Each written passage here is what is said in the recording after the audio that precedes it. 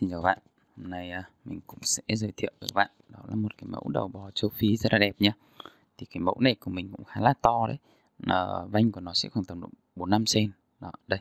Thì mình sẽ quay lại gần hơn, mình sẽ zoom lại gần hơn để cho các bạn sẽ quan sát kỹ hơn về từng phần da cũng như phần sừng này.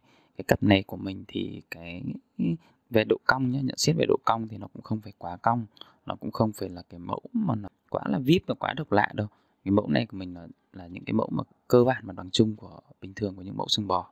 Đó. Thì là về cái vanh sừng thì cái mẫu này của mình nó khá là to màu sắc thì cũng khá là sáng. Thì bên mình cũng đã à, phớt bóng hết rồi phủ sơn bóng xong xuôi hết rồi phần da cũng vậy.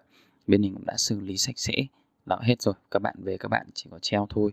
Thì cái nền cái bề ngang của nó khoảng tầm một mét. Đó thì là mình sẽ đọc cái thông số kích thước. Để mà khi mà các bạn muốn treo ở đâu thì các bạn uh, đo cái kích thước mà các bạn muốn treo ấy. ví dụ các bạn treo lên tường các bạn treo ở cửa hàng vân vân đó thì các bạn sẽ án cái kích thước mà các bạn muốn treo thì là khi các bạn đo ví dụ các bạn thấy nó hợp lý vừa vặn thì các bạn sẽ lấy hoặc là nếu như mà nó to quá hay nó nhỏ quá thì các bạn có thể chọn những mẫu mà làm sao nó vừa với cái không gian mà các bạn muốn trưng bày nhất thì các bạn có thể inbox trực tiếp uh, giúp mình nhé thì mình sẽ tư vấn và giải đáp giúp các bạn cảm ơn các bạn